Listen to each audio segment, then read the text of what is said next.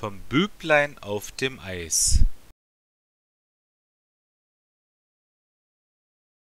Gefroren hat es heuer, noch gar kein festes Eis. Das Büblein steht am Weiher und spricht so zu sich leis. Ich will es einmal wagen, das Eis, es muss doch tragen, wer weiß.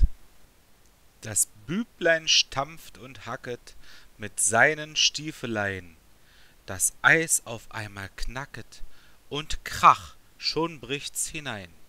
Das Büblein platscht und krabbelt, als wie ein Krebs und zappelt mit Schreien.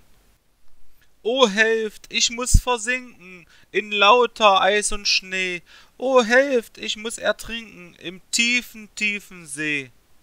Wär nicht ein Mann gekommen, der sich ein Herz genommen, o weh.